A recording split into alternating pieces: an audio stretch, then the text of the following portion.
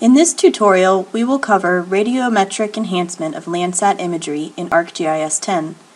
This video was produced by Virginia View, a consortium dedicated to promoting remote sensing outreach, education, and research, with funding from the America View Consortium. This video was developed in partnership with the Virginia Geospatial Extension Program and GeoTED.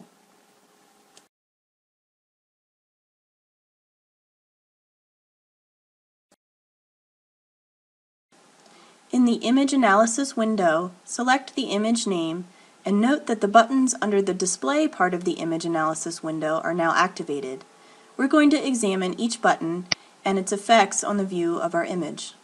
The top slider is for contrast. For each slider, you can enter a value in the box to the right, or you can simply click and slide.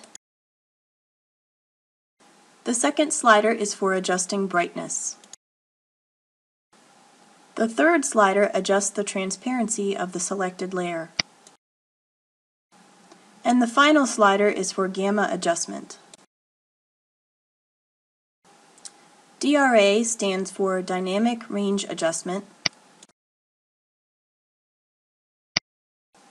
Selecting the background box removes the black background created from no data values from around the Landsat scene.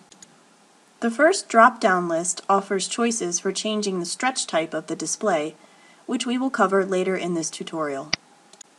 This second drop-down box is for specifying how the raster will be resampled for certain operations, which is covered in the tutorial on spatial enhancement of Landsat imagery.